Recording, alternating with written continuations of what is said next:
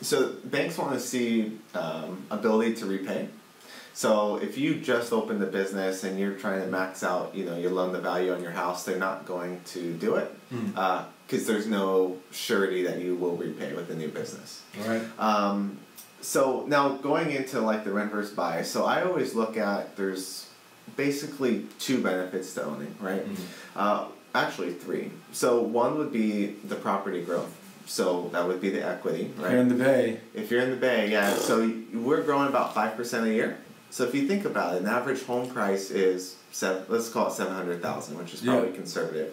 That's Right. literally thirty-five thousand dollars a year in Mhm. growth, It's a, right? it's a good question, Praneet. I mean to cut you off. We're going to get to that, I promise. Praneet says, I generally want your opinion on renting versus investing. Uh, kind of similar. I think by investing, she means buying. So back to the three. I apologize. for Cutting you off. Yeah. So so the property growth is one. Um, of course, it's not guaranteed, but uh, if you look at year-over-year average in our area, that's typically what it is. Um, now, the second benefit is you do get some tax benefits for you know property, um, the interest on your mortgage, property taxes, things like that. That's a big one people Um, miss. Big, right? So like, yes, your mortgage payment is higher than than whatever your rent would be, Mm. but after the savings and the deductions, yeah, they usually tend to not always break out to the same, but you can get yourself pretty close. So let's call it just as an example, a four thousand dollar mortgage payment Mm. Usually nets out to the same about a three thousand dollar uh, a month in rent, right? Right.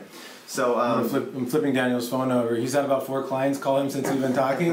and I don't want him to use this as, an, as a way to cut it short. But keep going. Okay, so that's one, uh, and then the last the last piece actually is the the best piece, right? So like if you pay three thousand dollars a month in rent, Mhm.